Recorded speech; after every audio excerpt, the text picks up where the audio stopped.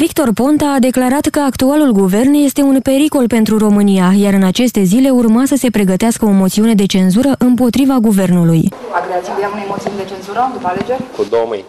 PSD nu va depune moțiune de cenzură pentru trântirea guvernului Cioloș, ci îl va lăsa să își încheie mandatul până la alegerile parlamentare din toamnă, a declarat după alegeri președintele acestui partid, Liviu Dragnea. Nu vrem să preluăm guvernarea acum pentru că nu putem. Orice moțiune de cenzură care ar putea trece ne-ar aduce în fața președintelui Iohannis, care sigur nu va pune un premier de la PSD și va face o propunere pe care noi nu o vom putea accepta și putem ajunge să intrăm în câteva luni de zile de instabilitate cu consecințe economice pe care nu le dorește nimeni. A mai afirmat liderul PSD. Deputatul Victor Ponta susține că guvernul este responsabil de dezastrul administrativ generat de întreruperea sistemului electronic de achiziții publice SEAP și ar trebui sancționat de Parlament printr-o moțiune de cenzură și o comisie specială de anchetă. El ar fi vrut ca moțiunea să fie depusă după 15 iunie.